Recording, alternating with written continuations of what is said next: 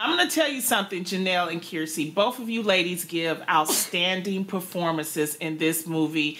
Bless you, Jeannie, Antebellum. Thank you. Um, this is my question, though, Janelle, because I've been reading. You said you were scared to take this role. Why? Because it could actually happen. Because oh. it seemed much closer to happening than not happening. Wow. Everything was set up. Everything is set up with the current administration, with white supremacists who are activated, had been hiding, now just outright here, systemic racism, um, the fact that where it takes place, these places actually do exist.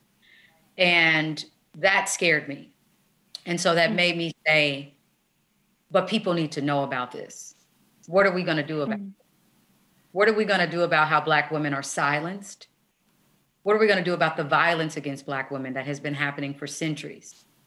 How are those who benefit from racist policies, benefit from, you know, being privileged in this country, really going to show up for Black women?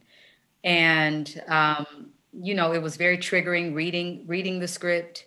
Um, there's some moments in the film that are, and I think the truth, uh, it, it hurts. It hurts that Black women have been leading the revolutions, fighting for for for for so many fighting to save themselves and the the the love and support and care is not there. So my hope is with this script um, with this film um, that people realize that black women are owed so much globally and at the very least black women deserve peace